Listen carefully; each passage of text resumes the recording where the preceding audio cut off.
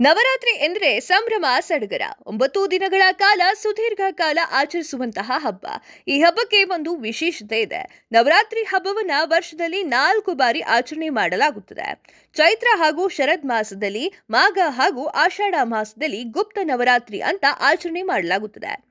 ದುರ್ಗಾದೇವಿಯ ಒಂಬತ್ತು ರೂಪಗಳಾಗಿರುವಂತಹ ಶೈಲಪುತ್ರಿ, ಬ್ರಹ್ಮಚಾರಿಣಿ, ಚಂದ್ರಘಂಟ ಕುಷ್ಮಂಡ ಸ್ಕಂದಮಾತ ಕಾತ್ಯಾಯಿನಿ, ಕಾಳರಾತ್ರಿ, ಮಹಾಗೌರಿ, ಸಿದ್ಧಿದಾತ್ರಿ ಅವರನ್ನ ಒಂಬತ್ತು ದಿನಗಳ ಕಾಲ ಪ್ರತಿದಿನ ಪೂಜಿಸಿ ಆರಾಧನೆ ಮಾಡಲಾಗುತ್ತದೆ.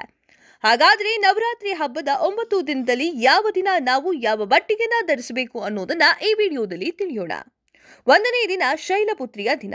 ಕೆಂಪು ಬಣ್ಣದ ಬಟ್ಟೆಯನ್ನ ಧರಿಸಬೇಕು. ನವರಾತ್ರಿಯ ಮೊದಲ ದಿನವನ್ನ ಶೈಲಪುತ್ರಿ ದೇವಿಗೆ ಅರ್ಪಣೆ ಮಾಡೋದ್ರಿಂದ ಭಕ್ತರು ಕೆಂಪು ಬಣ್ಣದ ಬಟ್ಟೆಯನ್ನ ಧರಿಸಲೇಬೇಕು. ಯಾಕೆಂದ್ರೆ ಈ ಬಣ್ಣವು ಶಕ್ತಿ ಮತ್ತು ದೃಢತೆಯನ್ನ ಸೂಚಿಸುತ್ತದೆ. ಎರಡನೇದಾಗಿ ಬ್ರಹ್ಮಚಾರಿಣಿ. ರಾಯಲ್ ನೀಲಿ ಬಣ್ಣ. ನವರಾತ್ರಿಯ ಎರಡನೇ ದಿನವನ್ನ ಬ್ರಹ್ಮಚಾರಿಣಿ ದೇವಿಗೆ ಅರ್ಪಣೆ ಮಾಡೋದ್ರಿಂದ ಭಕ್ತರು ರಾಯಲ್ ನೀಲಿ ಬಣ್ಣಕ್ಕೆ ಮೊರೆ ಹೋಗಬೇಕಾಗುತ್ತದೆ ಅಂದ್ರೆ ಆ ಬಟ್ಟೆಯನ್ನ ಧರಿಸಬೇಕಾಗುತ್ತದೆ. ಯಾಕಂದ್ರೆ ಈ ಬಣ್ಣವು ಶಾಂತಿಯನ್ನ ಪ್ರತಿನಿಧಿಸುತ್ತದೆ. ಮೂರನೇದಾಗಿ ಚಂದ್ರಘಂಟ, ಹಳದಿ ಬಣ್ಣ. ನವರಾತ್ರಿಯ ಮೂರನೇ ದಿನವನ್ನ ಚಂದ್ರಘಂಟಾ ದೇವಿಗೆ ಅರ್ಪಣೆ ಮಾಡೋದ್ರಿಂದ ಭಕ್ತರು ಹಳದಿ ಬಣ್ಣದ ಬಟ್ಟೆಯನ್ನ ಧರಿಸಬೇಕು. ಯಾಕಂದ್ರೆ ಈ ಬಣ್ಣವು ಸಂತೋಷವನ್ನ ಸೂಚಿಸುತ್ತದೆ. ಇದು ಅವನೊಂದಿಗೆ ಸಂಬಂಧವನ್ನ ಹೊಂದಿರುತ್ತದೆ. ನಾಲ್ಕನೇದಾಗಿ ಕುಷ್ಮಂಡ. ಹಸಿರು ಬಣ್ಣ. ನವರಾತ್ರಿಯ ನಾಲ್ಕನೇ ದಿನದಂದು ಭಕ್ತರು ಕುಷ್ಮಂಡ ದೇವಿಗೆ ಪ್ರಿಯವಾದ ಹಸಿರು ಬಣ್ಣದ ಬಟ್ಟೆಯನ್ನ ಧರಿಸಬೇಕು. ಇದರಿಂದಾಗಿ ಅವಳು ತನ್ನ ಭಕ್ತರಿಗೆ ಎಲ್ಲಾ ರೀತಿಯ ಸಮೃದ್ಧಿಯನ್ನ ನೀಡ್ತಾಳೆ. ಐದನೇದಾಗಿ ಸ್ಕಂದ ಮಾತಾ ಬೂದು ಬಣ್ಣ.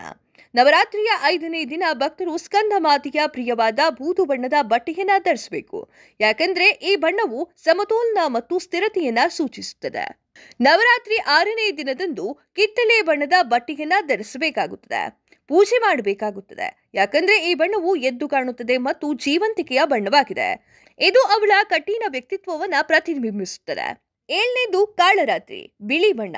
ದುರ್ಗಾದೇವಿಯ ಕಠಿಣ ಹಾಗೂ ಶಕ್ತಿಶಾಲಿ ರೂಪವಾದ ಕಾಳರಾತ್ರಿ ಎಂಬ ಕಾರಣದಿಂದಾಗಿ ನವರಾತ್ರಿಯ ಏಳನೇ ದಿನದಂದು ಭಕ್ತರು ಬಿಳಿ ಬಣ್ಣದ ಬಟ್ಟೆಯನ್ನ ಧರಿಸಿ ಅವಳನ್ನ ಪೂಜೆ ಮಾಡಬೇಕು.